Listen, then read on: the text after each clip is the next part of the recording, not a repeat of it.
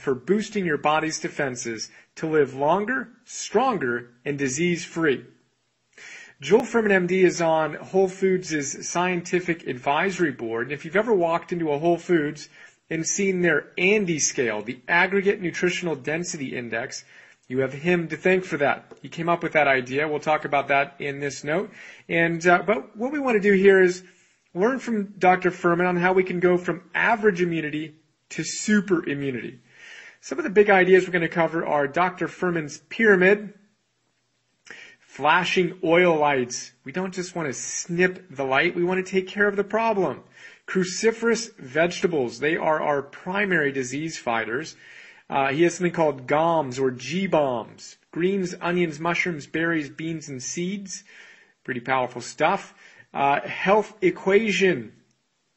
Health equals nutrients over calories. We'll talk about that. Uh, we'll talk about the importance of exercise, and we'll talk about your extraordinary healing potential. We'll see what we can get through in these 10 minutes.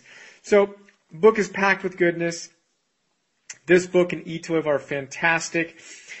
Here's what Dr. Fuhrman tells us. He says most health authorities today are in agreement that we should add more servings of healthy fruits and vegetables to our diet.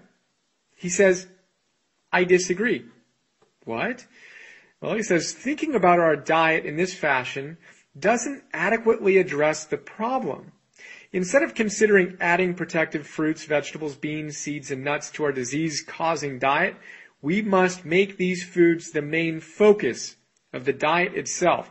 So, he's got a different type of pyramid than what we might be used to uh, checking out. He says it starts with vegetables. Half raw, half cooked, that is the base of our pyramid here. Then we add on the fruits and the beans, legumes. Uh, for him, it's the seeds, the nuts, the avocados, whole grains, and potatoes. And then you have a limited side of uh, eggs, fish, fat-free dairy, red meats, etc. So the point here is don't try to add on vegetables at the end of the discussion. Start with them. These are the keys to your super immunity whatever details you get into around how much of this stuff you have, everyone's going to agree on this needs to be our platform, needs to be our foundation. Healthy fruits and vegetables